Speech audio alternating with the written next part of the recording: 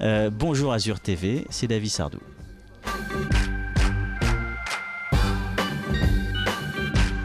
Bonsoir à tous. Il y a environ un an et demi, on avait rencontré David Sardou à Cannes lors de son passage avec la pièce L'affrontement qu'il incarnait, qu'il interprétait avec Francis Huster. Cette fois-ci, il nous revient avec une pièce dont il nous avait pas mal parlé à l'époque, qui s'intitule Les Vœux du cœur et qui est du même auteur, Bill Davis.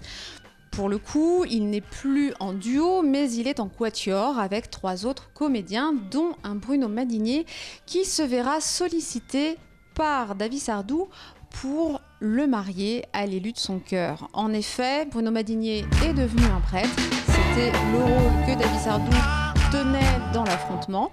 Et cette fois-ci, David Sardou est un homme amoureux homosexuel qui vit en couple avec Tom et qui veut se marier à l'église puisqu'ils sont tous les deux catholiques. Alors, on pourrait s'attendre à de la caricature et des préjugés, loin de là. Ce n'est pas du tout l'idée de la pièce et d'ailleurs, elle nous fait beaucoup plus réfléchir sur le poids et la valeur des engagements et des choix que l'on peut faire tout au long de notre vie plutôt que sur les deux thèmes auxquels on pourrait réellement s'attendre, c'est-à-dire la religion et l'homosexualité. Alors, je vous invite réellement à découvrir cette pièce, le 10 décembre à Cannes, avec entre autres David Sardou et Bruno Madinier. J'enchaîne, c'est le cas de le dire, avec une autre pièce de Bill Davis, une création en France en tous les cas, euh, une pièce qui va s'appeler Les Vœux du cœur. Alors on aborde un peu les mêmes thèmes. Euh, c'est une pièce à quatre personnages qui va se jouer au théâtre La Bruyère.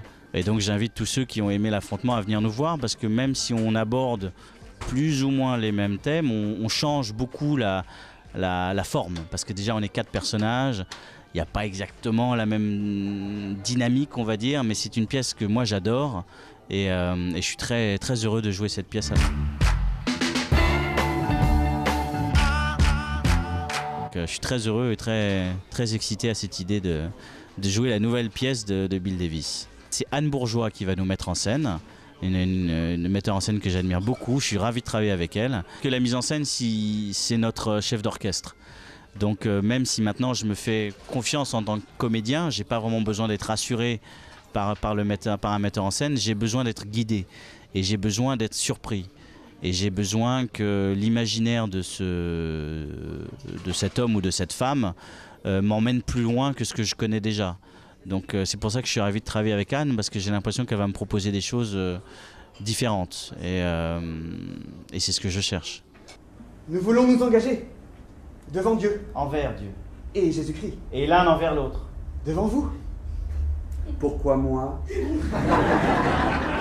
Il veut nous faire contempler la superficialité de notre expression sexuelle. Et pourquoi vous vous emmerdez avec une église qui ne veut pas de vous? Être pianiste, c'est vraiment une vocation. Être gay, c'est. Un fait, un, simple fait. Simple pour qui? J'aime l'Église.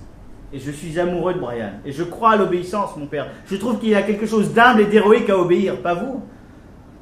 Si. Ouais, voilà, seulement Brian trouve qu'il est humble et héroïque de vous défier. Qu'est-ce que je fais, moi?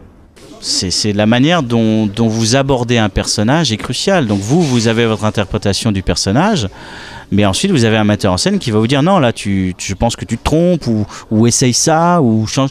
Et puis le fait de, suivre les idées d'un metteur en scène, bah, ça vous révèle d'autres choses. Alors je ne vous dis pas que ça change euh, intrinsèquement qui vous êtes en tant que comédien, mais ça peut vous révéler d'autres choses.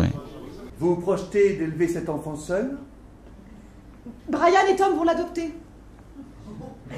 Ah. Quelle chambre? Pour le bébé Ouais. Bah la chambre d'amis, non Désaccord conjugal avant même le mariage. Mais arrêtez ça tout de suite. J'en suis pratiquement à faire publier vos bancs par le padre. Arrête, il n'acceptera jamais de publier. Ah, tu dis pas jamais. Qu'est-ce qui te fait croire qu'il est prêt à changer d'idée?